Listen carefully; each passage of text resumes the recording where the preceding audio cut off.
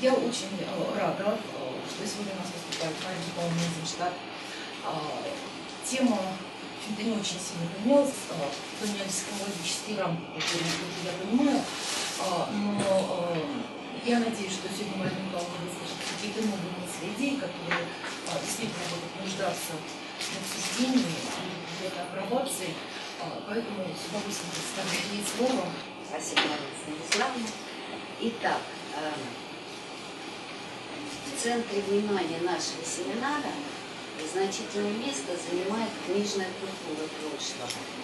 Но сегодня речь пойдет не только о книжной, но и газетной, журнальной, памфлетной культуре в связи с особенностями публикации парламентских материалов XVIII-XIX веков.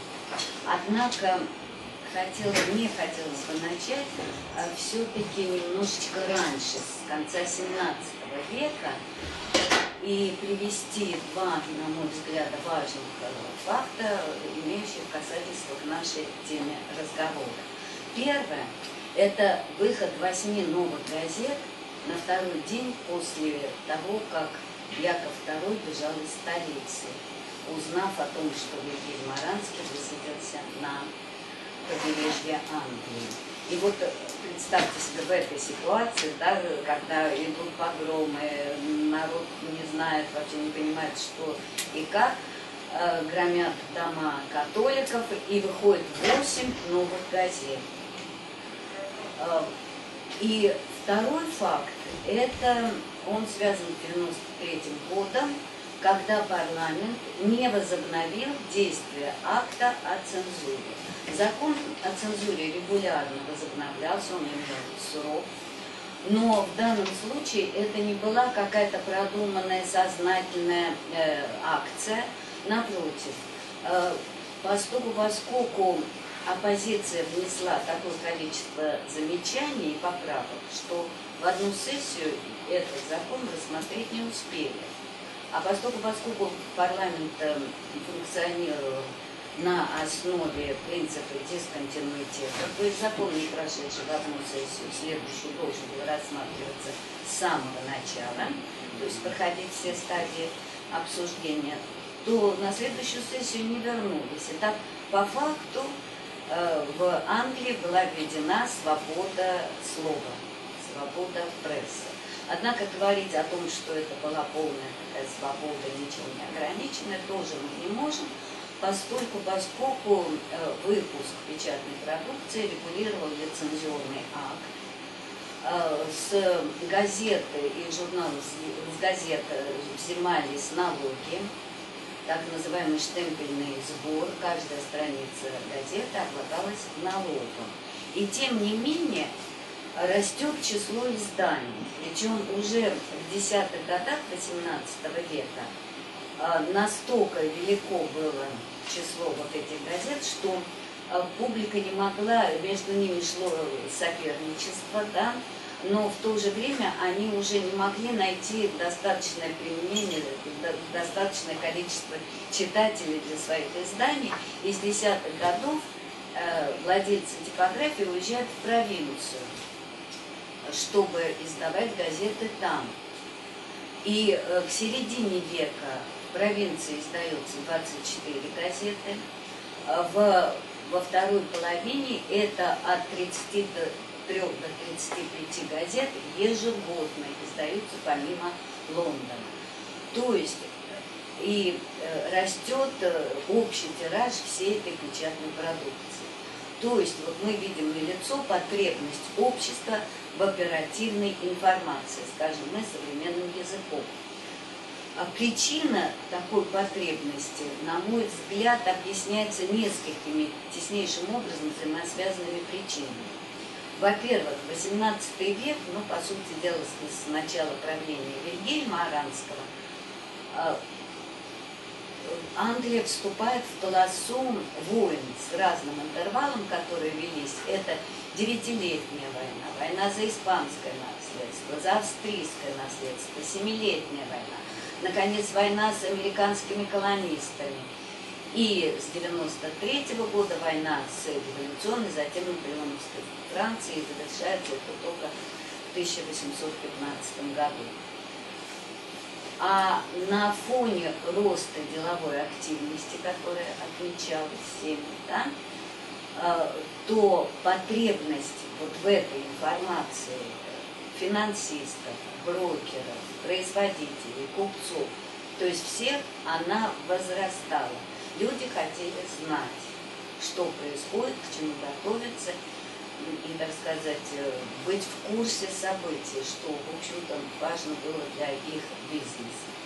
С другой стороны, конечно, семьи хотели знать, что происходит там, где находится их муж, сын, брат и так далее. И вот на фоне вот этой вот растущей информации, пожалуй, мы можем сказать единственный, простите за тавтологию информации, которая была в достаточной степени скрыта от общества. Это сведения о проходящих парламентских прениях и законах.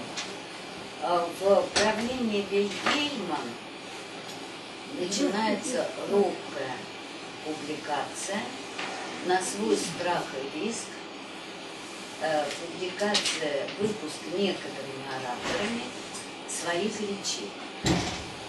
Почему на свой страх и риск? Потому что существовали жесткие ограничения, предусматривавшие и э, тюремное заключение, и высокие штрафы за публикацию сведений о премии.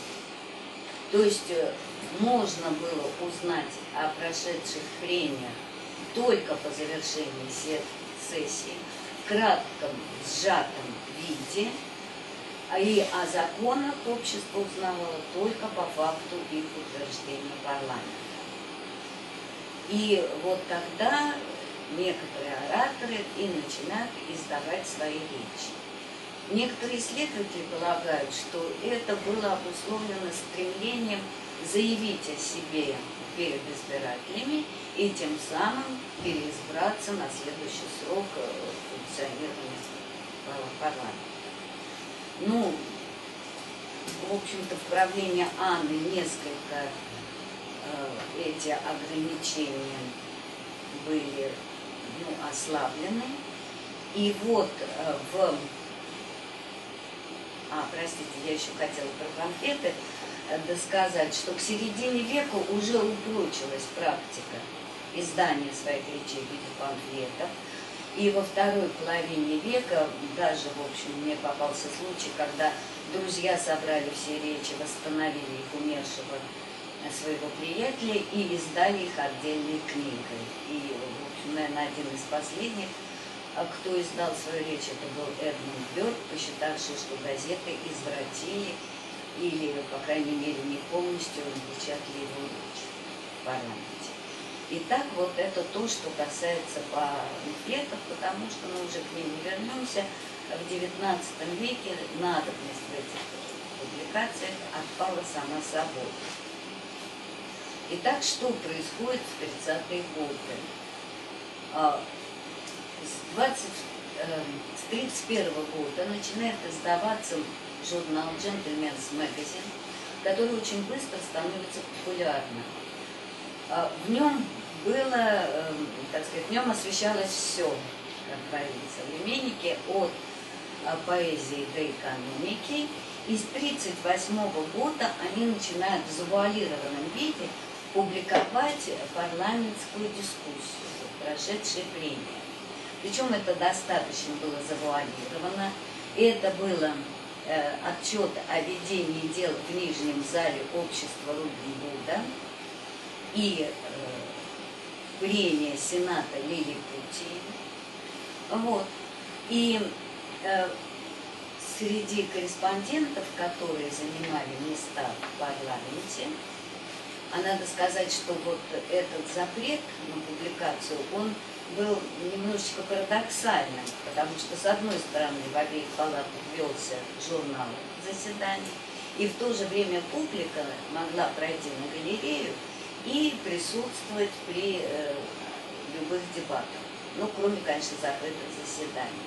И вот с 1938 года э, журналисты этого, несколько было человека, они э, начинают посещать регулярно эти заседания и помещают в журнале отчеты.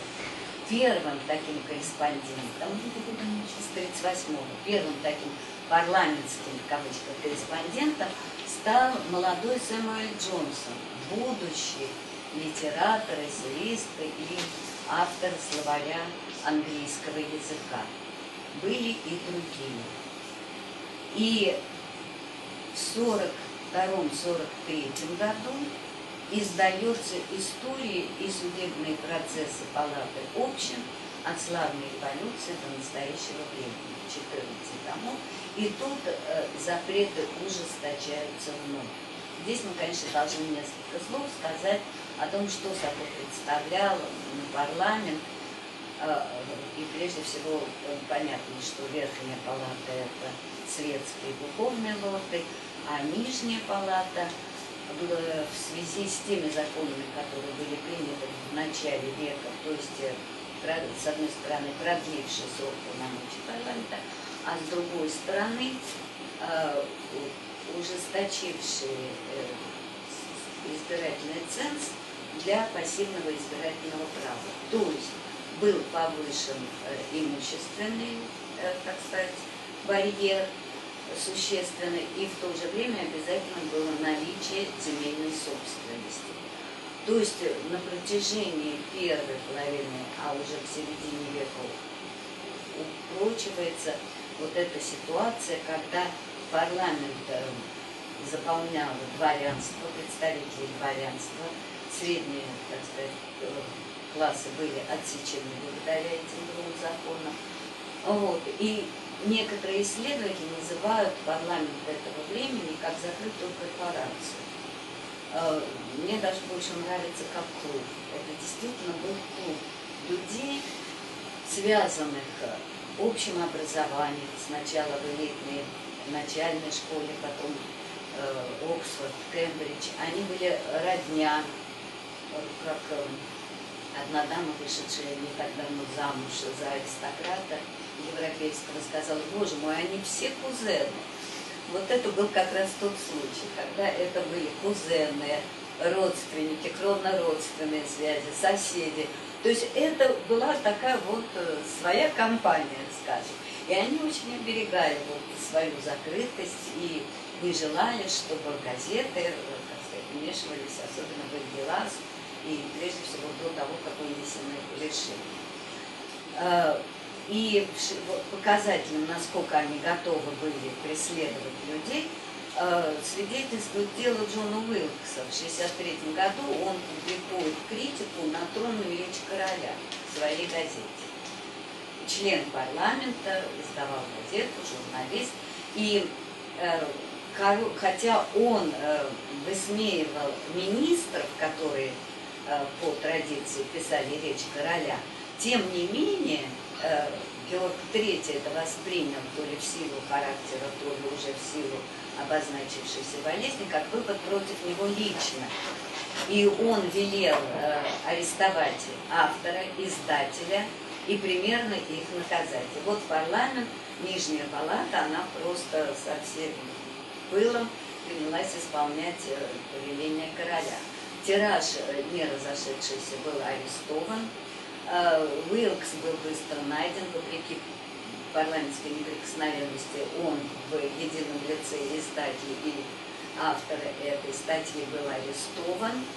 А потом его э, лишили депутатского мандата, приговорили к тюремному заключению и большому штрафу.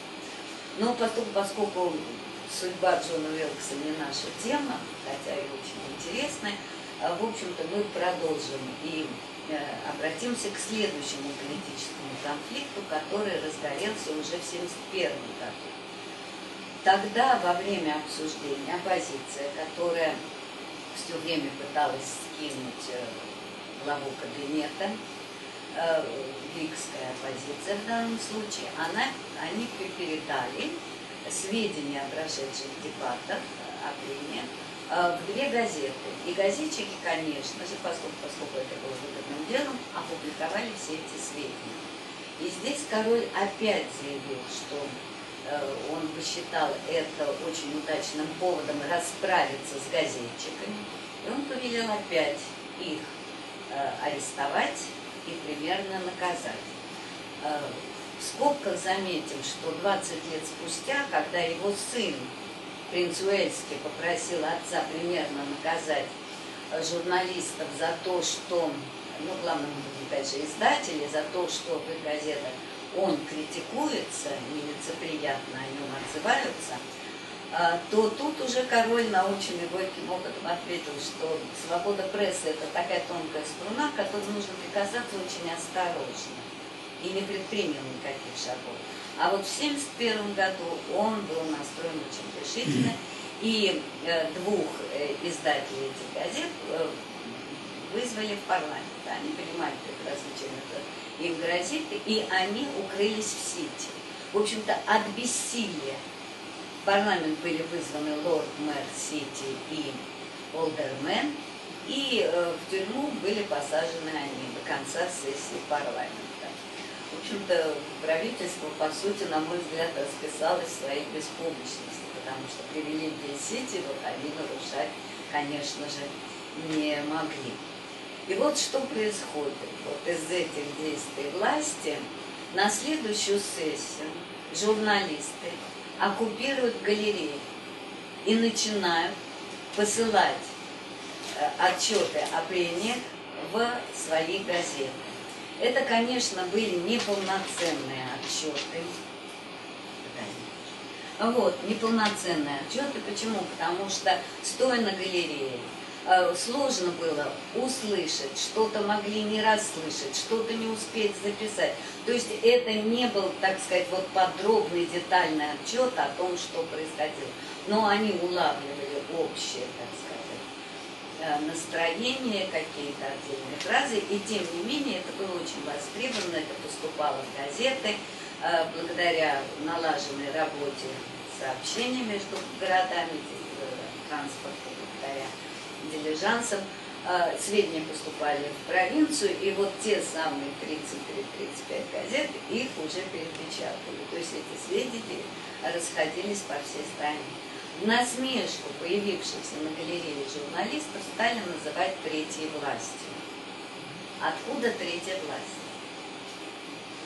Дело в том, что парламент издревле рассматривался как единство трех ветвей власти. Это эти власти в лице монарха, лордов и общин. И вот эта вот насмешка, она просуществовала до э, начала 30-х годов уже 19 века, когда политики на своей судьбе ощутили власть э, прессы и ее роль в жизни общества. Вот Веллингтон в 30-м году напрямую связал свою отставку с тем, что он недооценил силу прессы. Почему четвертая? Потому что король, лорды и общины три. три власти, а пресса а четвертая. Это четвертая? Ну, конечно, четвертая.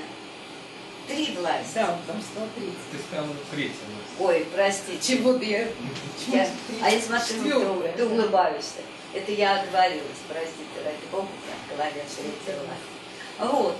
И э, завершая вот разговор о газетах, э, я хочу сказать им, насколько востребованы были именно парламентские дебаты в прессе. Э, в начале XIX века соперничество шло между двумя газетами. Вот они были два таких лидера, два конкурента. Это «Таймс» э, и «Morning Chronicle». И вот «Таймс» из этой конкурентной борьбы выходит победительницей. Почему? Потому что издатель «Таймса» первым начинает посылать в парламент стенографистов, и их отчеты становятся более полными и более подробными. Ну, на мой взгляд, это, конечно, тут надо еще добавить усовершенствование печатного дела, но, по мнению специалистов, именно это сыграло решающую роль в победе Танца. И газеты продолжают вот это вот э, очень подробно, кто более, кто менее, но все газеты обязательно освещают парламентские дебаты на протяжении XIX века. А параллельно этому с 1974 года начинается издание журнала. То есть первым становится Джон Элман, который в свое время, по некоторым сведениям, был одним из корреспондентов э, Gentleman's Magazine. И вот он э, начинает издавать журнал Parliamentary Register, который целиком посвящен освещению парламентских ежемесячный журнал, он выходит, дело очень прибыльное. Через некоторое время он его продает большой прибылью.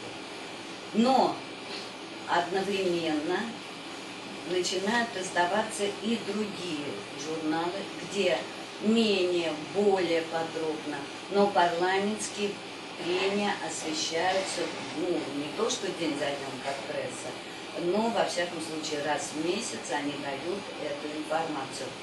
Вплоть до чисто литературного журнала «Босфор» мы найдем информацию о премии. А, я еще один журнал упомяну, очень любопытный. Он назывался «Жекейский клуб» или «Рассказ о манерах нашего века». Свое время, значит, э, как Gentleman's Magazine, вот эта вот завуалированность была, он э, сохраняет немножечко завуалированность вслед за ним, но она заключается в том, что э, фамилии э, докладчиков, они обозначаются буквами, но зная людей того времени, очень легко, там совершенно нетрудно угадать, кто это, что это, кто что говорил, и по сути, вот он единственный, мне больше не встретилось. А, издатель вот этого журнала, он предваряет текст самих дебатов, и понятно, да, Жакейский клуб, что творится в нашей конюшне. Ну вот. И он предваряет пространным размышлением о времени, о себе, очень любопытны вот эти размышления. И Сами прения, как я уже сказала, несколько были завуалированы, но этот был такой больше, я бы сказала, э, уклон юмористический взгляд на политические события. Комиксы что ли? Нет, комиксов э, рисовал. Именно разговор. Нет. А желтый лес отсюда все. Нет, я думаю, нет. Я думаю, нет. Я как-то в это не погружалась, надо посмотреть. Значит, вот Лондон магазин, Лондон магазин, прошу прощения, Parliamentary магазин. Вот издатели этих журналов стремились осветить только наиболее важные события, наиболее важные выступления, а в то время как сами журналы, вот они повторяли э, удачный опыт Gentleman's Magazine, который существовал практически на протяжении 200 лет, когда там было обо всем, от экономики до поэзии, в этих журналах читатель мог подчеркнуть разнообразнейшие сведения, в том числе бан банкротство, ну, кроме поэзии и литературы, банкротство, э, преступления, которые наиболее яркие были совершены в это время, э, давали сведения о заключении браков, рождении детей, смерти, том числе давалась информация о выпущенных книгах. И небольшие, даже не рецензии, а такие резюме, я бы сказала. То есть там можно было подчеркнуть сведения обо всем. Э, обязательным э, парламентские материалы стали э, в Annual Register и так далее. То есть, по сути дела, мы можем говорить о том, что в последней трети, по крайней мере, в последние два десятилетия 18 года происходит своеобразный журнальный бум. И одной из важнейших тем этих журналов становятся парламентские премии. История прессы дает нам чрезвычайно любопытный срез жизни общества. Э, прежде всего в силу тех функций, которые пресса осуществляет в обществе. они теснейшим образом между собой взаимосвязаны. Это информация, влияние на общественное мнение и отражение общественного мнения. И вот что касается газет, журналов на протяжении всего XVIII века, то мы можем сказать, что вот тут вот это их теснейшее взаимодействие мы видим нагляднейшим образом. То есть информация о парламентских прениях явилась откликом издателей на потребность общества знать, что говорят их представители. То есть, как писал один автор в 80-е годы, народ избрал своих представителей, он дал им наказы, и он хочет знать, что они говорят. С другой стороны, публикация этих материалов приучает общество к чтению, к ознакомлению с этой самой информацией. То есть с привычкой знать, что происходит в Лондоне, в парламенте, а кто выступает, какие, так сказать, произносят речи, какие доклады и какие, наконец, принимают законы. И вот это, а учитывая распространение газет по стране, распространение этой информации по стране позволяет нам говорить о той роли, которую пресса сыграла в эти годы в формировании национальной идентичности. То есть люди чувствовали себя жителями одной страны. Да? Это с одной стороны, с другой стороны, безусловно, э, мы видим э, формирование сегментов как гражданского, так и политического самосознания. И вот благодаря этому да, мы можем существенно скорректировать утверждение Джонатана Кларка о том, что Англия XVIII века – это общество старого порядка. Мы видим те новые тенденции, которые происходят в жизни общества, и едва ли полностью мы можем с ними согласиться. И с другой стороны, мы можем скорректировать и утверждение известной английской исследовательницы Линды Пули, весьма уважаемая она историк и. А она пришла к выводу, что формирование национальной идентичности а, происходило в период войн с революционной наполеоновской Франции, когда вот страна стояла перед угрозой вторжения и напрягала все свои силы. То есть вот этот срез, этот э, один фактор этого среза жизни общества позволяет нам делать такие э, выводы, исходя из рассмотрения самого, самого факта публикации парламентских премий. Собственно, общество и издатели были подготовлены к более обстоятельным публикациям, и они начались с 1802 года. 1802 году Уильям Кубик, человек чрезвычайно любопытный, интересный, его жизнь, на мой взгляд, могла бы послужить э, сюжетом ни одного авантюрного романа, э, он приступает к изданию своей газеты «Political Register». И приложением к ней стали парламентские дебаты – и вслед за ним парламентская история. Parliamentary history, она так обычно и упоминается вслед им Codex Parliamentary History. И хотелось бы обратить внимание, что историю, парламентскую историю он публикует с 1066 года, с древнейших времен. Если мы видели, что в середине века история парламента от славной революции отсчет, то здесь уже отсчет идет с 1666 года.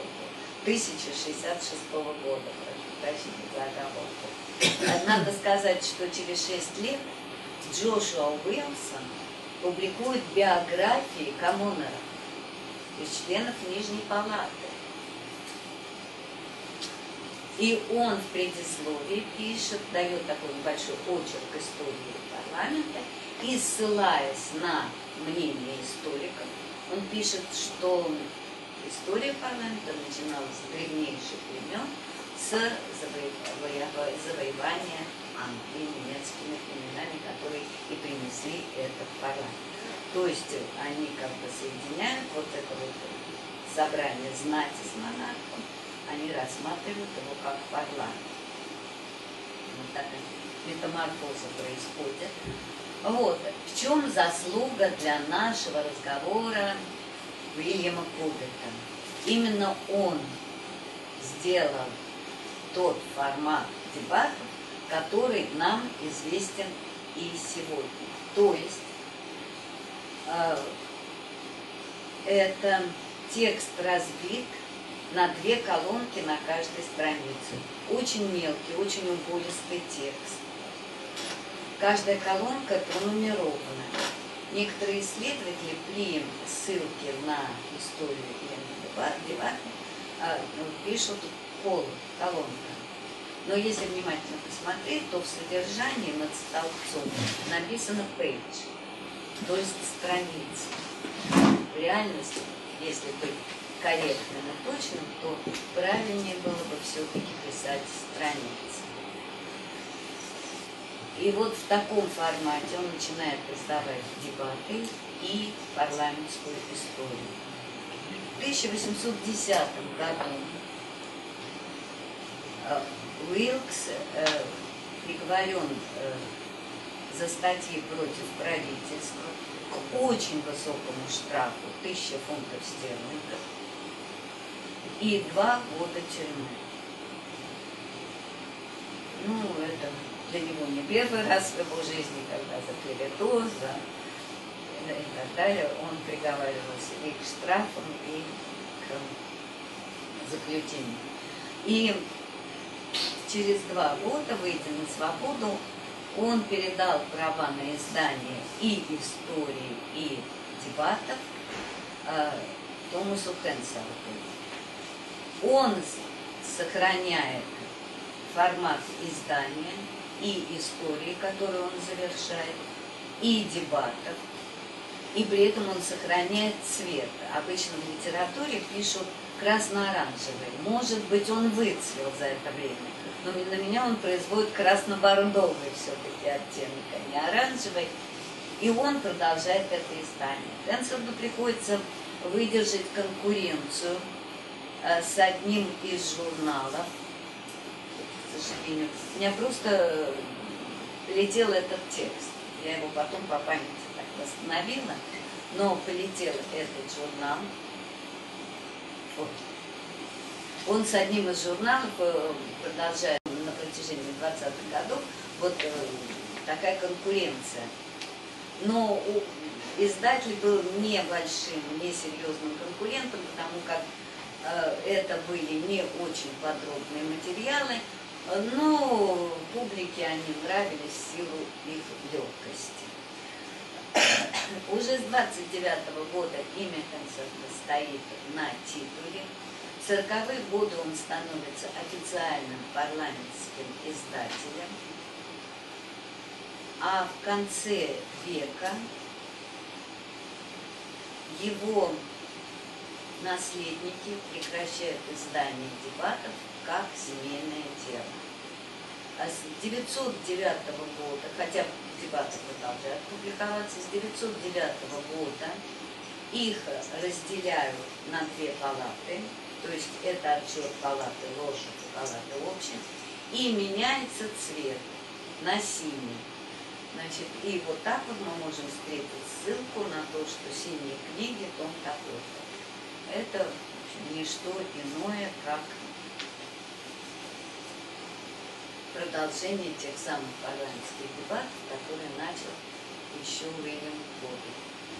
И, в общем-то, в конце э, я хотела бы остановиться на двух таких, на мой взгляд, важных вопросах. А, собственно говоря, какое значение для современников имела вот эта публикация? Как мы, я уже говорила, для XVIII века это была потребность знать да? И очень любопытно, если мы посмотрим первые э, годы, первые столетия функционирования парламента, который все-таки не с 1066 года реально да, существовал, э, то первые заседания свелись к тому, что разбирались петиции. И благодаря вот этим петициям власть имущие могли получить информацию о том, что происходит в обществе, что творится. Это, по сути дела, был единственный реальный такой достоверный источник информации с места. То уже мы видим в XVIII веке настоятельную потребность знать, что происходит во властных сферах. Однако в XIX веке мы наблюдаем и иную картину. Появляется стремление общества влиять на законотворческий процесс.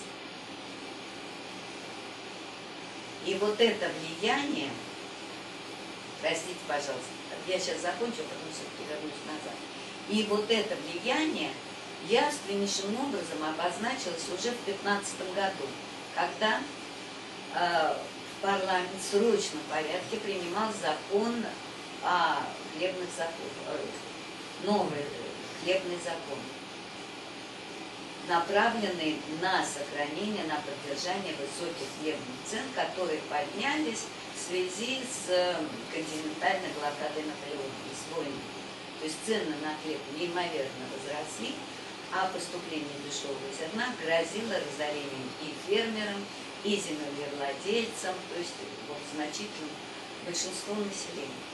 Э, по процедуре сначала вносится предложение, если оно одобряется, то уже биль начинает рассматриваться три раза в нижней палате, в верхней и так далее.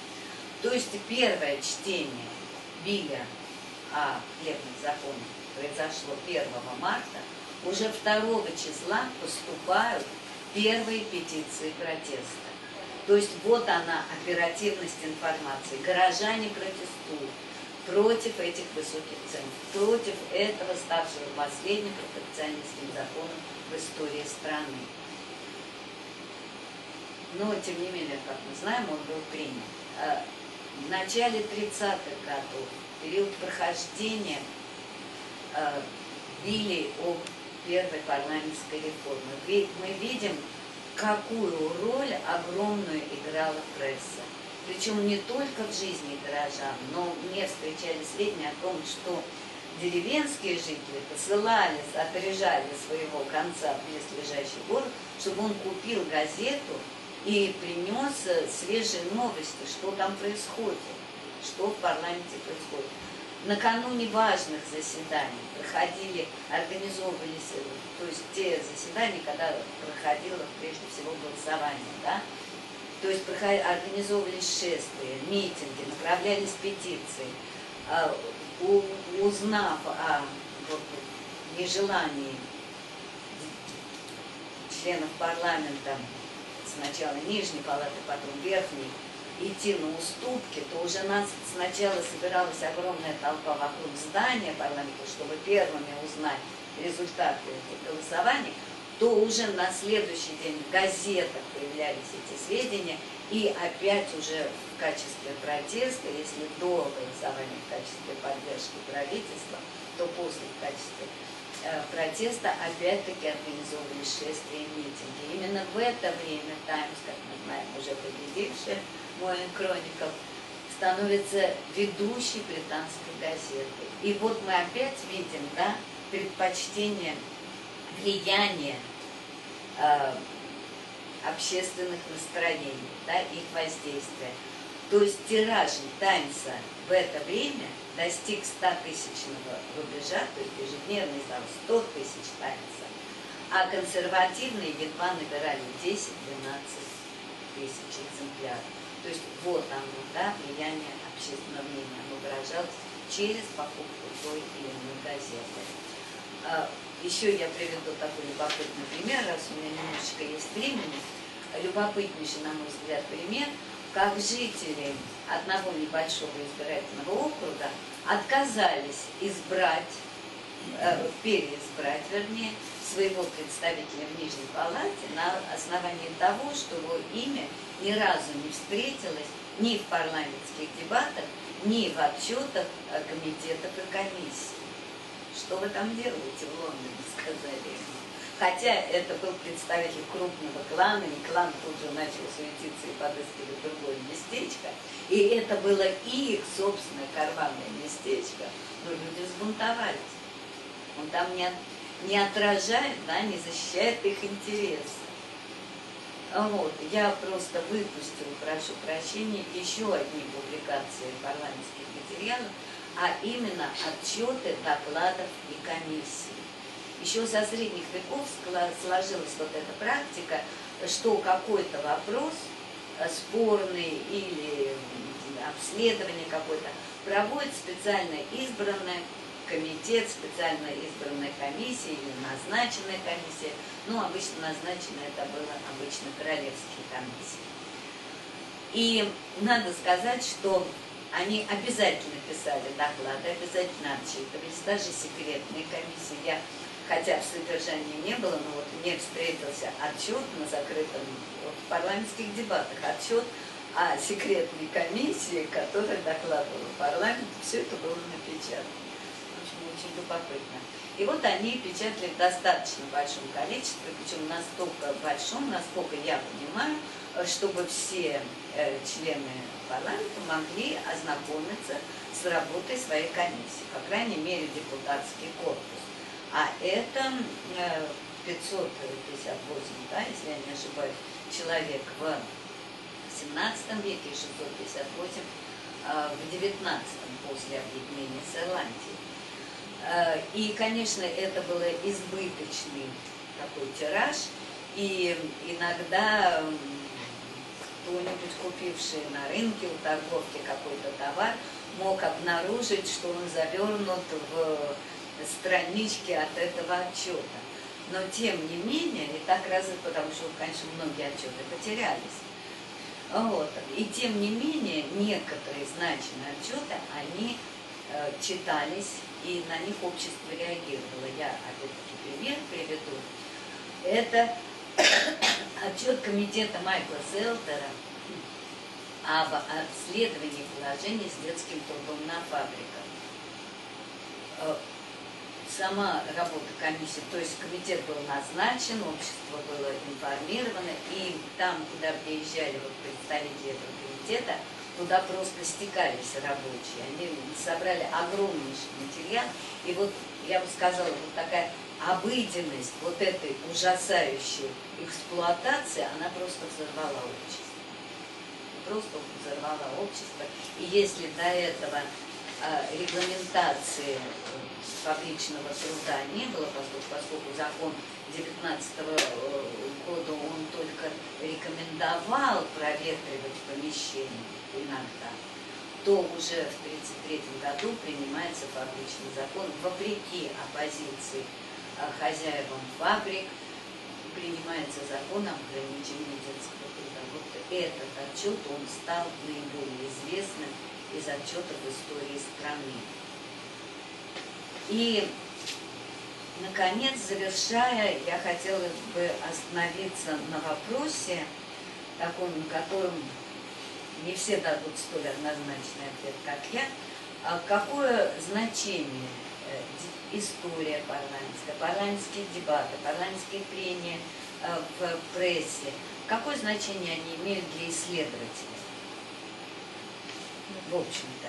А почему возникает этот вопрос? Потому что я знаю серьезных историков, которые достаточно пренебрежительно относятся и э, к парламентской истории в силу того, что она источник вторичного характера. Конечно же, все эти дебаты были восстановлены на основании каких-то других материалов, может быть, и журналов э, обеих палат, но мне кажется, вряд ли, потому что это была достаточно закрытая информация. То есть э, можно ли обойтись без парламентских парламентской истории для XVIII века, парламентских дебатов для XIX, на мой взгляд, полноценное исследование по э, тому и другому веку, оно невозможно без исследования парламентских дебатов. Прежде всего, э, чем, на мой взгляд, интересны оба эти издания. Мало того, что это, по сути дела, летопись политических дискуссий, сессия за сессией, э, десятилетие за десятилетием, но это еще обсуждение законопроекта, аргументация сторон, расстановка сил, э, характер поправок. То есть для того иного закона это бесценный материал. Кроме того, это та дополнительная публик... Э, те дополнительные сведения, которые публиковались э, в парламентских дебатах. Это список избранных на новый срок полномочий парламента коммунов с указанием их округов. И это тоже очень любопытные сведения. А по совету Ирины Юрьевны Новиченко я посмотрела первый пореформенный парламент в 1933 году. И что я увидела? Наиболее известные радикалы, выступавшие за сокращение, за ликвидацию карманных местечек, были избраны именно от мелких избирательных округов. Вот такая ирония, да? То есть, кроме того, петиции до тех пор, пока парламент не э, вынес решение не рассматривать петиции, что, в общем-то, было связано с огромным потоком, который просто они не успевали рассмотреть. Э, а не потому, что они не хотели обсуждать первую петицию чертистов, а просто к этому времени уже было принято такое решение. Но публикация поступавших петиций с указанием количества подписей под ним оно тоже дает очень любопытные сведения о, об обществе того времени. То есть невозможно ни по социальной, ни политической, по политической истории написать э, такого полноценного добротного труда, на мой взгляд. И кроме того, вот как я уже сказала, вот это вот своего рода летопись политических дискуссий, она открывает широчайшие возможности для исследования интеллектуальной истории эпохи, потому как перед нами, я недаром, как на ваш взгляд, может быть, так оказалось, отвлекалась и рассказывала, что такое парламент XVIII века. То есть перед нами высказывание репрезентативной социальной группы по широкому кругу вопросов. Да? И это дворянство, практически 18 и, скажем так, две трети XIX века. Но потом мы имеем в виду, уже имеем в распоряжении высказывания среднего класса и высказывания представителей рабочего класса или лейбористской партии. На этом, пожалуй, все. Спасибо за внимание. Про, прошу прощения за оговорки, потому что я пыталась смотреть, потом... На самом деле, взаимоотношения а, трех ветвей власти и э, четвертой ветви, они, они всегда были очень непростыми, и э, насколько э, вот эта вот летопись э, политических дискуссий, о которых, о которых сказала Мария Павловна, э, является реальным отражением того, что происходило, каким образом эта летопись формировалась, какие, скажем так, чьи интересы отражались в этой летописи. Ну, в общем, вопросов здесь на самом деле а, может быть очень, очень много. А, и если позволите, то мы, как всегда, работаем в обычном режиме, да, то есть задаем вопросы, обсуждаем, ну, в общем, ничто ни на что не делится. То есть хочется высказать мнение, значит, можно его высказывать, но, конечно, хотелось бы сначала выслушать вопросы. Вопросы, может быть, конкретные вопросы по тому материалу, который а, мы сейчас услышим. Пожалуйста, дорогие. Ну, я все, пойду все, на, на ваши вопросы. А нет, нет, нет, нет. А, они, технический характер, потому что у меня еще конкретные вопросы тоже есть. Ну, у меня есть один небольшой вопрос, Э, поскольку законы, которые э, э, были в Англии, и они, в общем, самые ранние относятся к середине э, 13 века, вот я- эти законы, э, они официально э, были все зафиксированы. вот э, я хотела бы спросить, вот меня очень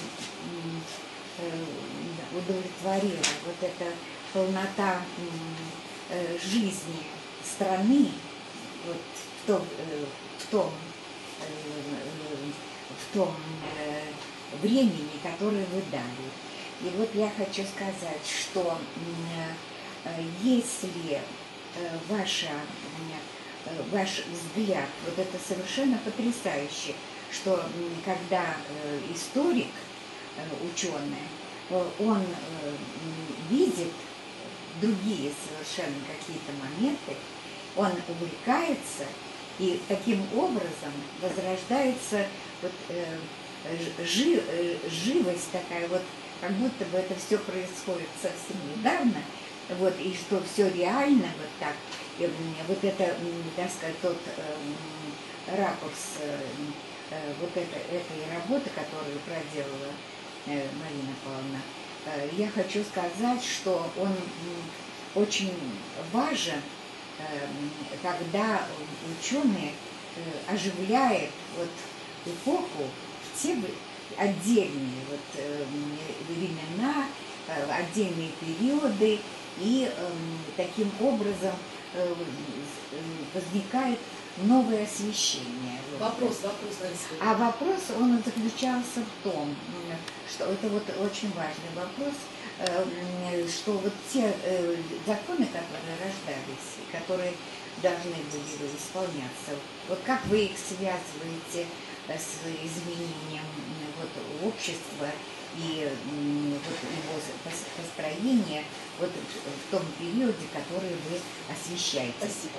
Вот это очень важно, потому что э, э, англичане э, эти законы все, как говорится, имеют, записа, они записаны, вот, но когда их надо было не, не выполнять, вот в частности по отношению к, к Ирландии, то они совершенно забывали о том, что, да, что, э, что э, эти законы существуют. Они- Да, вот как вы связи- оцениваете в вот связи эту с законами сторону? много парадоксов. Если вот запрет на публикацию не был снят, он не был отменен, да, не знаю, в 1971 году, когда-то был политический кризис, о котором я говорю, то ведь запреты не были сняты. И тем не менее вышли на галерею, э, показательную галерею журналисты и спокойно записывали, передавали, и не было никаких да, преследований. А что касается законов, ну, законы были очень разные, принимались разные законы, э, публиковалось. С, за, за- Биль, законопроект, становился законом только после подписания короля. И информация поступала уже о нем, как свершившемся, установленном законе. То есть это было. Но и были нарушения. Причем они вот... э, Но стороны- дело в том, что э, парламент, э, что касается законов о прессе, то парламент очень следил за всеми публикациями. Я, так сказать, при- привела пример два случая, но довольно часто парламент, как судебный орган, призывал и рассматривал какие-то нарушения, связанные именно с лицензионным актом. Это было обязательно. Но вот это нарушение уже, так никто больше не пытался рассматривать. Спасибо. Еще Спасибо. вопрос, скажите. Вот у меня два конкретных вопроса. Представляете, потому что вас А, Никита Пиваров.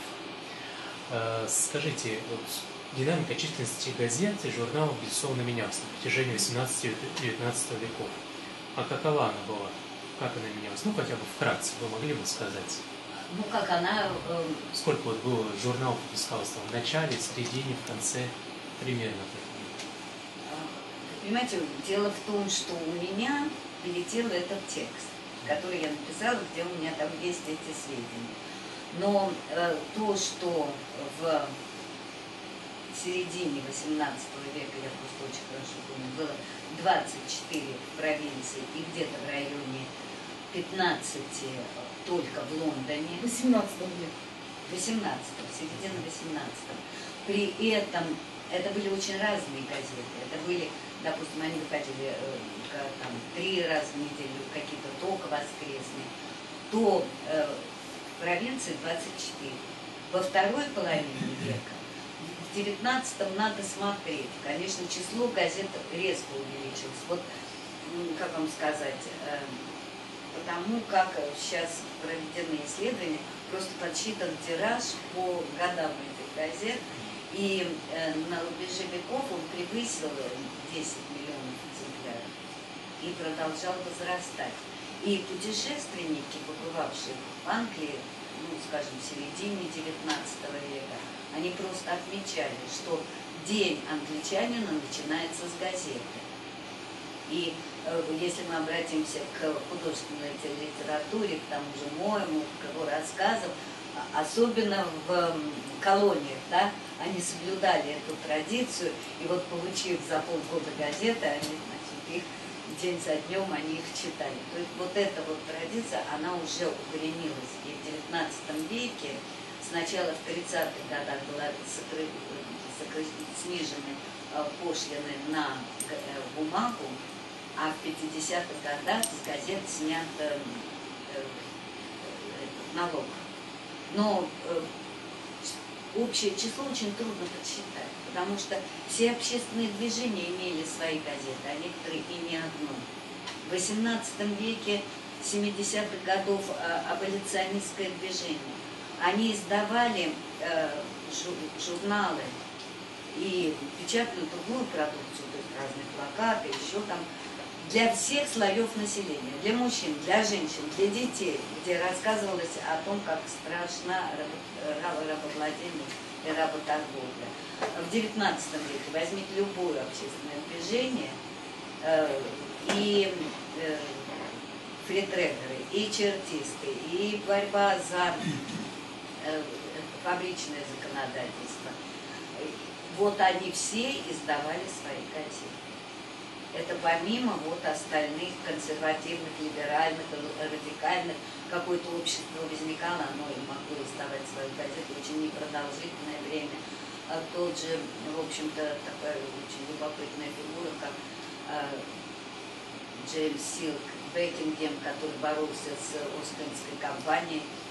Э, Он приехал из Индии в Лондон и приступил к изданию своей газеты. Это, это не ограничено, ты просто заявлял, что ты хочешь это опубликовать, и начинал издавать газету. Если ее покупали, ты процветал. И были, кроме того, до отмены налогов, были так называемые нелегальные газеты. Это газеты, которые не пла- издатели, которые не платили э, налог, а издавали без бабков налог. скажем. Скажите, пожалуйста, кто финансировал издание газеты «Дело» недешевое? А Кто финансировал э, такой вот э, газетный бум? Да? То есть вот это были частные газеты, Это- это, были, это- это были предпартийные деньги. Как, каким образом а, шла организация финансирования? Газеты дохода не приносят. То есть э, как бы это большое заблуждение, что газеты приносят доход. Дело в том, что- что 18 в 17 конечно. Сейчас Это было такое... Сейчас за счет другого, то есть не так даже рекламу, верно, здесь не Дело, нет, там была реклама, Ну, там была, все, ты получал все сведения о рынках, о ценах, о преступлениях, Ага, кто женился, кто банкрот. То есть Но ты таких получал- было много. И вот, поэтому они поехали в провинцию, что они уже не выкупали, они не получали Кто, кто был организатором предприятий в основном? Я скажу так, что Частные в разных случаях, по-разному, во-первых. Вот, допустим, издатель Gentleman's Magazine, он сначала пытался увлечь э, уже издателей вот этой идеи вот такого э, журнала. «Всякая всячина», да? А, И когда никто не откликнулся, он как-то нашел деньги. Но э, издание мгновенно принесло ему прибыль. И издавался, я говорю, почти 200 лет. Он прекратил свое существование в 1922 году. А, Но были проправительственные издания, которые получали вот это вот разрешение спикера на публикацию э, какой-то информации о дебатах. И в то же время, как было выяснено, субсидировали и проправительственную, и антиправительственную прессу само правительство. Сведения об этом. А, то есть интригу, то есть саму интригу, так сказать, на рынке э, новостей формировало правительство. Да, но были Заказчиком. неожиданности, да? Вот Джон Уилкс, Ничего нового, даже, ничего. Джон, Джон Уилкс, ну, я говорю, это все уже было. Да. Джон Уилкс, он, допустим, издавал свою газету «Северный британец». Это была абсолютно инспирированная Вигами, отстраненными Георгием Третьим от власти. Она была инспирирована ими, она защищала их позицию. Это очень четко. Она была в противовес э, газеты, которую придумал глава кабинета «Британец». Ну, Вот, так сказать, вот они заявили о себе как северный британец, подчеркнув его Никита Ильич шотландский Постаровкус. Да, Да. такой довольно конкретный вопрос. А вот внешний вид газет э, в Англии 18 века, насколько он близок к современным газетам, насколько отличался, какие разделы там можно выделить, там передовицу, подвал и так далее. Ну, подвал Формат вряд какой, ли. формат оно это было, так вот то, что я видела, это вот такой небольшой формат. А3 Они- скорее, да? такой Да. чуть больше А3, э, и там было все, то есть то, что покупал, то, что хотела знать публика, да, иначе это совсем невыгодно.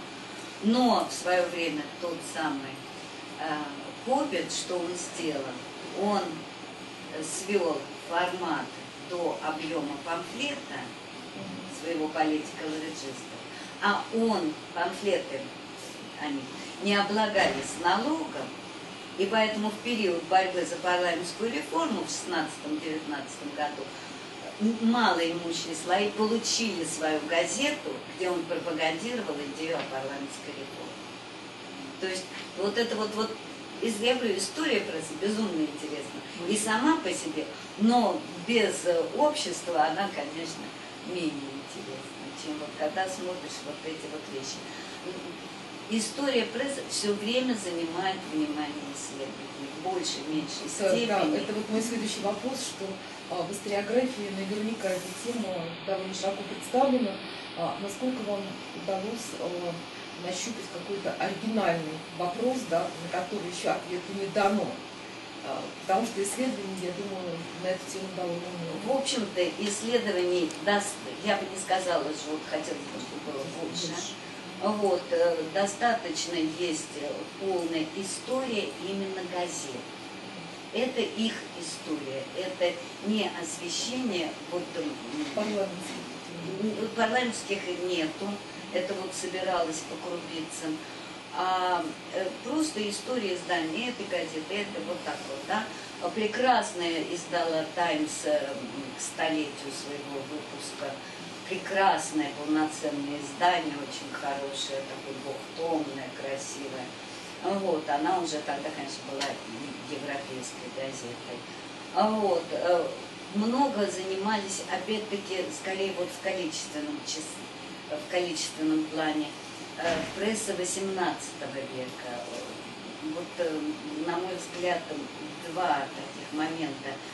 Первое, это когда Хабермас заявил, что формирование гражданского общества в Англии началось лишь в начале XIX века. Это спровоцировало огромный интерес э, к истории кофеин, клубов, то есть стремление показать, что нет, вот, вот эти сегменты, они не тут, они еще в 17 веке появились. И в ракурсе вот этого направления была и история прессы, когда люди так вот, собирали по крупицам сведения об этих газетах. Да? А Мне попалась очень любопытная, интересная работа, как раз то, что интересно мне, это была как раз работа прессы и общества. Вот это началось, вот этот ракурс появился, я очень рада, когда вот, наконец общество и пресса соединились. Да. А, да, пожалуйста. Сак. А, У меня вопрос, касающийся источников. На- Какова сохранность э, газет, журналов, насколько они доступны в России у нас, и где с ними можно работать? В сети есть. Во-первых, ну а пощупать. Пощупать очень хочется, это очень интересно. Они Очень разбросаны, они разбросаны. 18 век очень скудно, очень мало. А, Лишь вот, э, я бы сказала, последняя треть 18 века, это представлено в э, нашей общественно-политической библиотеки, которая теперь соединилась э, с исторической библиотекой. Но мне встречались газеты и э, в архиве древних актов, газеты начала XIX века. Не встречались там. А вот журналы, абсолютно, вот все эти журналы, которые говорила, можно найти, они выложены в интернете. Вот эти публикации мне просто не дали биографии, мне не дали, написали, извините, в библиотеке, она в реставрации, вообще вам не дай бог. И я на всякий случай набрала. Она у меня выскочила, я посмотрела, безумно интересная. Такое, но а, абсолютно вот, в общем-то, больше, конечно, парламентом занимались вики. Они доказывали сначала, что парламент главное со славной революцией, потом они уже в конце века и начале следующего заговорили об его истории с 1066 года. А вот, а история тоже она выложена, Коб- история Кобита выложена в, э, в интернете, и парламентский дебат, конечно, там. Ну, пощупать действительно, трудно. выходов, выходов вообще столько может быть из этой темы, да, то есть, э, ну, действительно, вопрос. может быть, очень. Конечно, так. Еще один вопрос. Вот вы сказали, с одной стороны, э, рос интерес общества к теме да, дебатов и становилось больше газет. А с другой стороны, через какое-то время эти газеты появлялись на рынке, в которых там, заворачивали продукты. Нет, это не газеты, это, это- вы не, не расслышали. Заворать, нет, ну, я думаю, газеты тоже потом заворачивали, потом использовали для чего-то.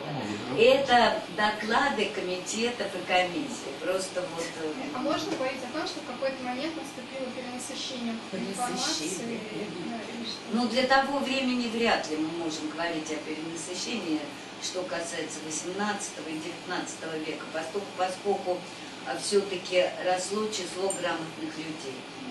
Вот э, на рубеже А веков тиражи какие были? Можно как-то? Ну, Узы, конкретные ну, да, ну, газеты. порядок.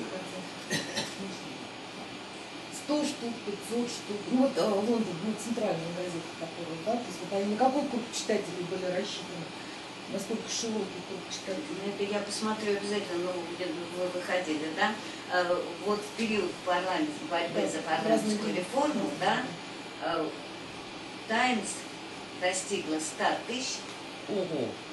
и перешагнула очень быстро набирала. Она становилась европейской значимой газетой. Консервативные издания в этот 30-е годы, вот борьба за первую парламентскую реформу, они были 10-12 тысяч. То есть вот, вот такие тиражи. Но это 19 век. 18 к сожалению, вот как у нас это положено, у них не пишут. Это вот нужно действительно, вот эти, эти нужны какие-то сведения от типографии. И дело в том, что, насколько я знаю, э, заявку о том, что будет такой-то, вот буду издавать такую-то книгу, это э, вносилось в какой-то реестр.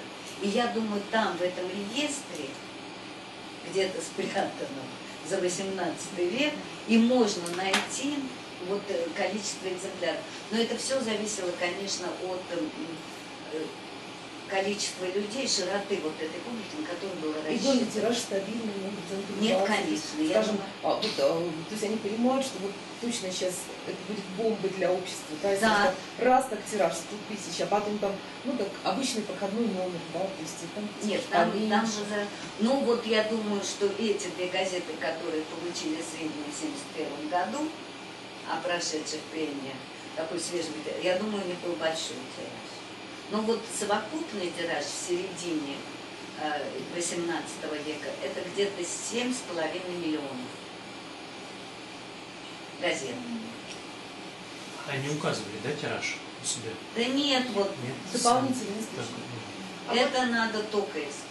Я, к сожалению, я просто представляю России, к сожалению, не знаю, когда в Англии была первая перепись проведена. Вот есть какие-нибудь цифры, сравнить, сколько было грамотных э, читателей, и сколько был тираж, Ну, там, в общем, они не считают грамотных, они, им важно было количество населения в 1801 году, если я не ошибаюсь. А Вот. А грамотных подсчитано, и вот та самая Линда Куля, о которой я она как раз, исходя из грамотности, вот, образовывают своих, в том числе и на грамотности, где-то 25-30% мужского населения, потому что были не только приходские школы, были разные учебные заведения, я не беру элитные, да, до дворянства, которые, естественно, по определению должно быть грамотно. А, но а, были всякие академии а, сектантов, да, диссентеров, тех, кто не исповедовал англиканскую религию. Они, их дети не могли посещать, они устраивали собственные учебные заведения. Поэтому... Да, я к тому, что от меня можешь сказать по Лондону, сколько газет приходилось на человека. Ну, это как насколько ну, сколько это даже, наверное, можно поискать, посмотреть, потому что где-то в районе миллиона уже в вот на рубеже 18-19 веков, и э, там было огромное количество бедноты, поэтому и в то же время там была собрана знать. Знаете, у меня еще английский вопрос со стороны английской. Эм, мне очень, я набрать, когда вот я работала в архивах Англии, вы знаете, я была потрясена тем, Э, как они относятся к э, своей элите. Вот, э, значит, вот, Марина Павловна, что вы, вы вот в то время, когда смотрели газеты, как вы чувствовали, как рассматривается вес вот в, в жизни Англии и при создании парламента? Они очень носятся с тем, что у них люди, э, есть элита всегда, и все остальные этому подражают. Вот э, что вы можете сказать о, о том, что вы еще дополнили вот при изучении документов? Что вы можете сказать о том, как элита ну, влияла? В этом ракурсе я не смотрела, мне трудно сказать. Но они просто носятся с этой темой. Вот, да. Поэтому э, я хочу сказать, что у них этикет, вот, поведение, вот как они э, этому подражает абсолютно все население. И поэтому кажется, ну, я что не нет. думаю, что сейчас именно так слишком э, становится размытым само население. А, и если говорить о XIX веке, допустим, есть прекрасные исследования Любовь Александровны Фадеевой, об интеллигенции и о среднем классе. И, в общем-то, она показала, что до, по крайней мере, середины XIX века средний класс стремился и буржуазия, в том числе стремились сформулировать собственное свое, э, так сказать, ценности и поведение, и наоборот как-то против... Но тем не менее лорды, лорды, а, лорды, лордов убрать не могут. Да, их убрать не могут. И что меня совершенно потрясло, что они все политические вопросы э, решают э, не в парламенте и до сих пор, а, э, как они говорят, может быть, это неправда, вот, а, они решают в своем клубе консерваторы. И, куда никто не входит. Дело в том, что и они решают все проблемы. Конечно же, парламентские прения, да, и вот опубликованные прения, это вот такая вот верхушечка айсберга. Там под водой скрыто э, все, что все э, взаимоотношения, договоренности, переговоры. Вот вся эта политическая кухня, она там внизу. Почему и, так, так сказать, пренебрежение идет а, у Это скрыто, скрыто. Это там скрыто, это там закрыто. Поэтому чего это все смотреть? Но все равно вот эта верхушка, без нее мы не поймем содержание до конца того, что скрыто под водой, то, что мы можем найти в мемуарах, переписке, воспоминаниях, дневниках, это все. Конечно, мы должны быть на их стороне, когда мы изучаем. Мы изучаем вот так, э, это очень э, потрясающе совершенно, вот когда открываются новые совершенно э, моменты по периодам и так далее. Ну, конечно, Отсюда долгий период. развивалось. Да, долгий период 19 века. Спасибо большое, а, Да, у меня был вопрос по поводу после того, как происходило распространение прессы. А вот, скажем, если вот столичные газеты, они были только на Лондон ориентированы? Или была какая-то все-таки система распространения? Может быть, и, и- Неизвестно. может быть, и развозили. А, Потому что почтовая служба начинает работать с конца 17 Подписка. века. Была? Я думаю, подписка была. Вот журналы как раз. Журналы, да, газеты. Газеты, я, я думаю, вряд ли она была организована Ну в да. 18 веке. Вот судя по истории Лондона, вот мне нигде не встретилось, чтобы там развозили. А вот уже в 19 веке, когда утро э, начинается видимо, железные движение дороги с газеты, собирали. там Да, да. уже железная Спасибо. Я думаю, там было организовано. И получали из столицы мира тайны. Да, Извините, пожалуйста, да. Максим Дробышев. А вы не подскажете, а стоимость газет известна? Сколько стоила газета? Или это как бы Ну. Дорого, дешево там. Ну, дорого, конечно, Дорого. если каждая страница облагалась налогом, да. Понятно. И Известно, известно, что э, Тогда вот это выгодный вот political register, да, он когда обошел э, налог, то она стоила 2 пенса. Два пенса. Это в начале э, 19 века. Ну, Как это соотносится? Дорого, У простых дешево. Это дешево, это дешево. А купить Какие-то, можно было там. Кроме газет. ну, наверное, кусочек хлеба можно было. Ну, есть, Вот, некоторые журналы, вот я видела, там на обложке стояло один фунт. Это очень дорого. Это тоже. Это дорого. И, так сказать, читала их, конечно, публика богатая. А так трудно сказать. И последний вот вопрос просто э, из любви к искусству, как говорят.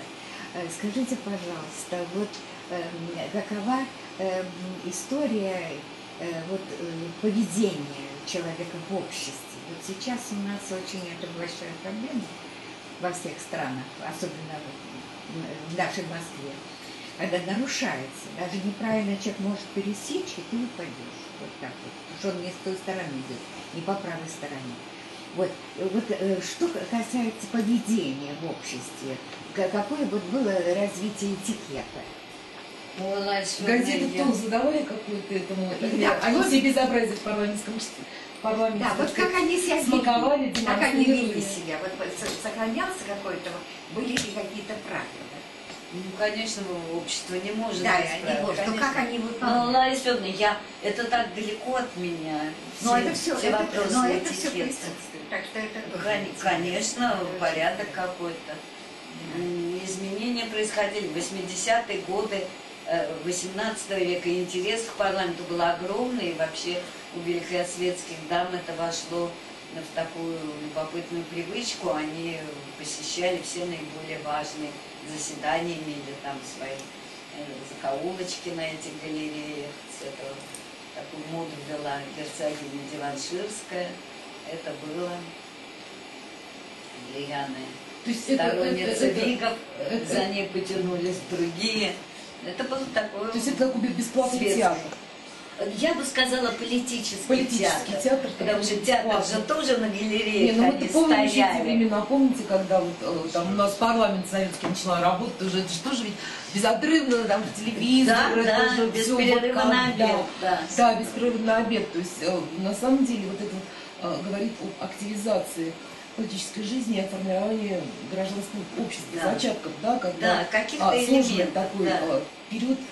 На самом деле, а, вообще, Марина Павловна, вы э, как вот такой э, отважный человек э, взяли вот по такой объемной теме такой большой период. Вот для такой огромной темы, да, то есть вот когда вы еще говорите там 19 век, я еще как-то так, ну, настороженно, а уже когда сказали, что еще и 18, а цветы возьмете, тут я, конечно, уж совсем напряглась. На самом деле, черт в деталях. Очень много а, в этой теме может быть, казалось бы, мелких вопросов, которые могут вывести на существенные, серьезные выводы. А, потому что вот а, мы работаем с книжной культурой, например, да, то есть вот, о которой вы вначале упомянули, ведь а, вот прошлую среду у нас был очень интересный круглый стол по маргиналиям, да, вот по записям на полях рукописи. То есть это вот средневековый материал был.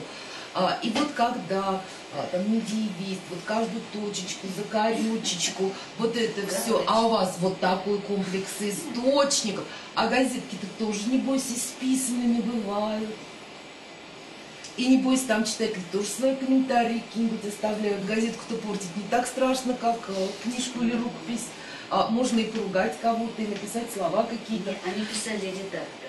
Редактор. Они обращались. Это же интереснейший блог. Ой, это Вот. Это, это отклики читать. Я как раз Ой, а, и хотела, чтобы вы уже вот нам сказали, что, конечно же, практики чтения газет тоже существовали, но они уже несколько изменяются от средних веков а, к новому времени. А, совсем мелкий вопрос по существу. А, значит, вот вы сказали, 18 век, а, публикация памфлетов в газетах. Вот Дайберг был недоволен тем, как это было. Кто готовил эти публикации? Можно ли как-то понять? Кем они готовили? А, ну, а, то есть они а, публиковали, то есть публикации, а, насколько они соответствовали тому, что вот реально происходило?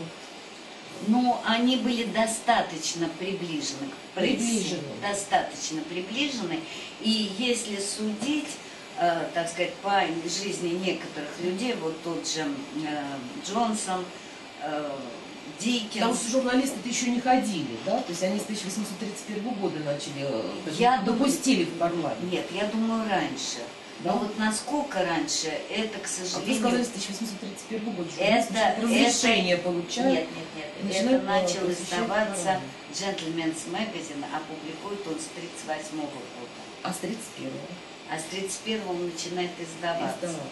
А вот, дело в том, что парламент же несколько раз горел, и вот галереи, по-моему, все-таки они появились в начале 18 века.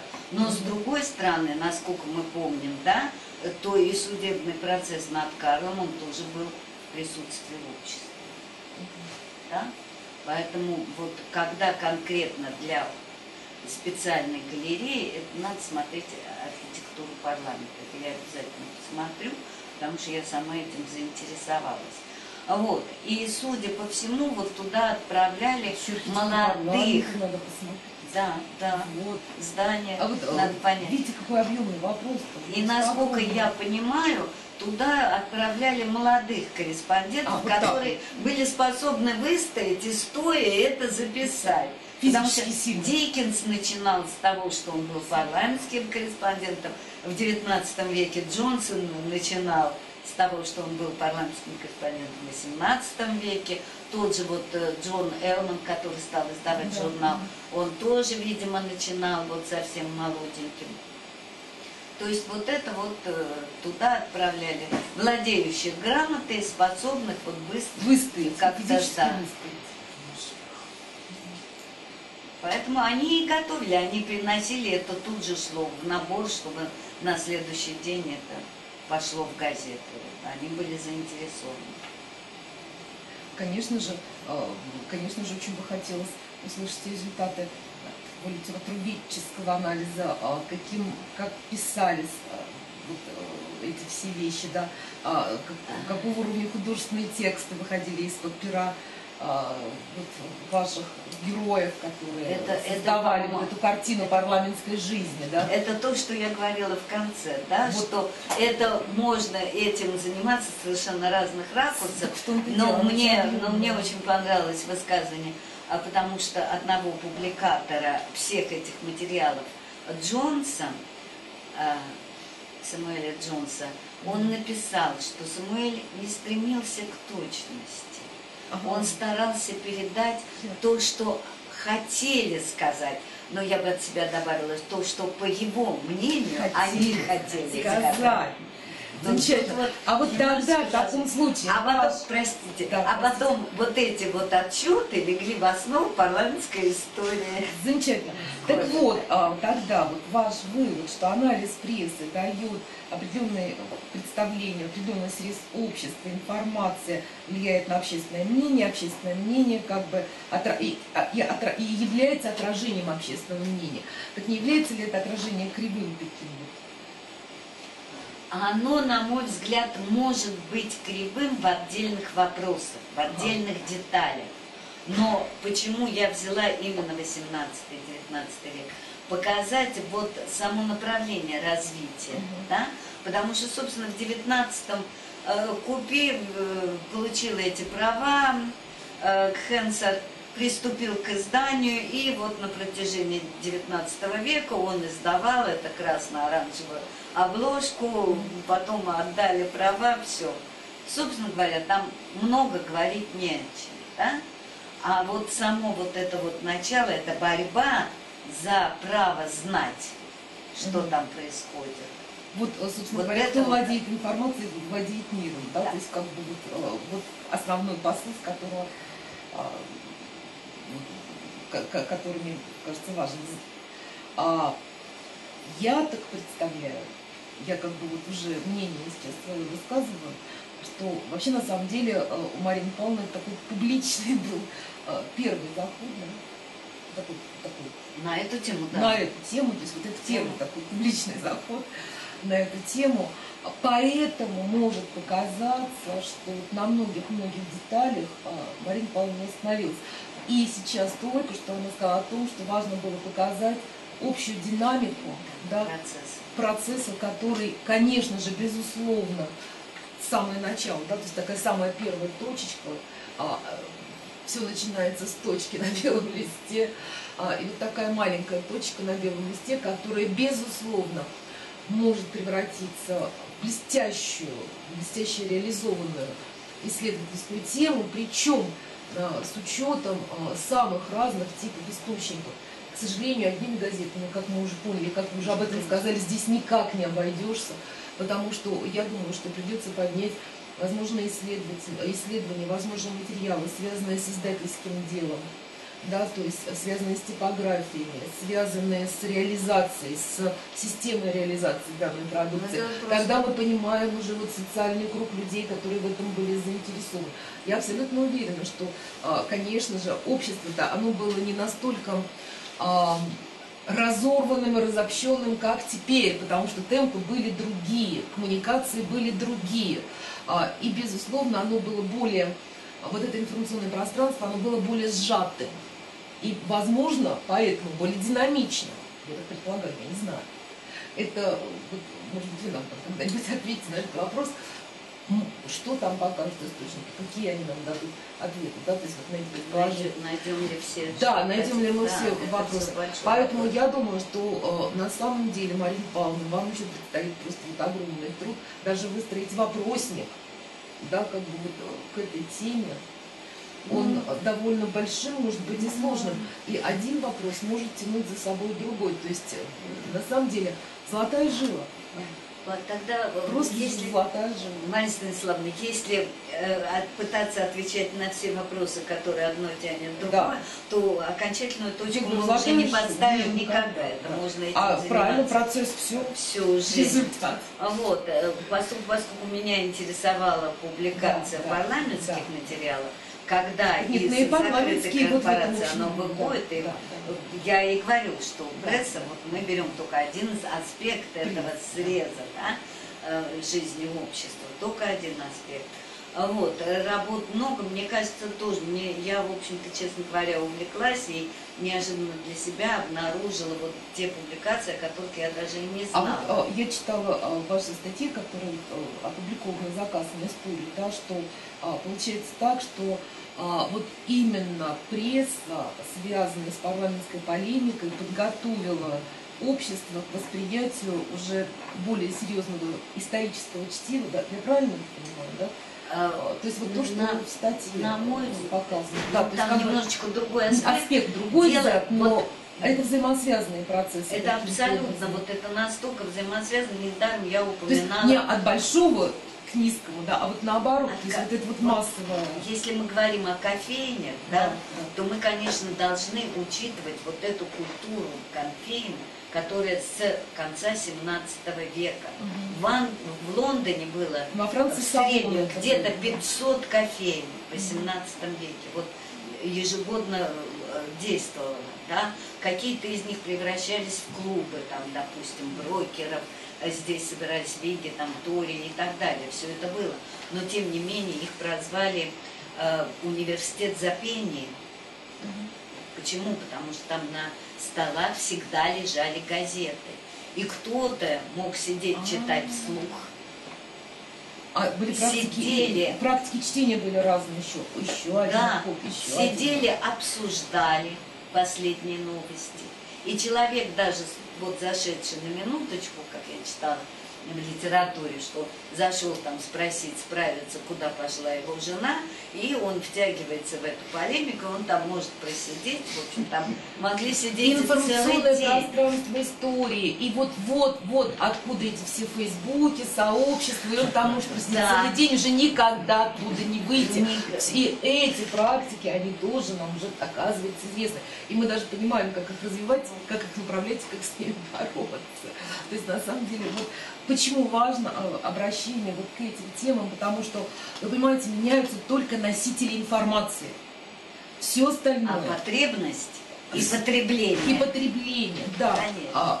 все остальное, то есть вот э, антураж остается тот же самый. И когда мы говорим, что а, я как бы все равно не устану это повторять, что а, когда а, вот вырывается, взрывается вот эта вселенная Гутенберга, то есть наоборот, вот она а, как бы начинает развиваться, вот эта вселенная Гутенберга, а, как- Расширяться. расширяться, да, когда а, печатная книга приходит, была, была рукопись, была рукописная, мы смотрим, как, насколько традиционным является преемственность какая между традицией рукописи, традицией печатной книги. Что меняется? Меняется просто охват да, людей, то есть знание становится вообще доступным практически вот, ну, любому более-менее стремящемуся к этому знанию. Что мы, то есть вот это вот та самая информационная революция, которая переживалась э, европейским обществом э, в 16 веке по полной программе, то есть вот совершенно точно уже, да, центрами это были университеты, типографии, издательские дома. Сейчас мы пе- переживаем ровно такую же ситуацию. У нас изменился носитель информации, то есть у нас появилась сеть, а, которая распространяет информацию с невероятной скоростью просто, да. То есть меняется только носитель информации. Если мы поймем, каким образом а, информация распространяется, вообще как, управ- как управляется именно историческая информация, да, как формируются эти потоки, то в принципе я думаю, что все это окажется очень даже актуальным и востребованным сейчас. А, И, и тема, с которой связана Марина Павловна, она, конечно же, э, безусловно, интересна с точки зрения исследовательской и с точки зрения социальной. Да? То есть она может дать интересные выходы а, и для а, современного общества возможно, если это правильно использовать, опять же. А, Почему историки никому не нужны? Потому что мы никак не можем объяснить, как же нас надо использовать, как надо использовать то богатство, которым мы владеем. Да, вот просто это надо уметь объяснить, потому что результаты вашего исследования, они могут быть интересны со всех точек зрения. И а, мы все очень благодарны за ваше сегодняшнее выступление. Спасибо просто огромное. А, спасибо всем, кто сегодня пришел. А, вот, а, и я думаю, что мы еще не один раз вернемся к этой теме. А вас я прошу подготовить именно статью, которая являлась постановочной, да, вот так, как вы ее нам сегодня преподали. А, я бы так сказала, а, как у нас э, значит, э, цивилизация, протоцивилизация, я теперь научилась этими всеми словами. Вот, то есть исследование, протоисследование, то есть вот, вот то, то, то, что предваряет, а, и это самое интересное, потому что вот идет нащупывание тех точек, да, которые реально могут дать хорошие результаты. Только успехов можно пожелать. Спасибо. И э, еще раз большое всем спасибо за нашу сегодняшнюю встречу.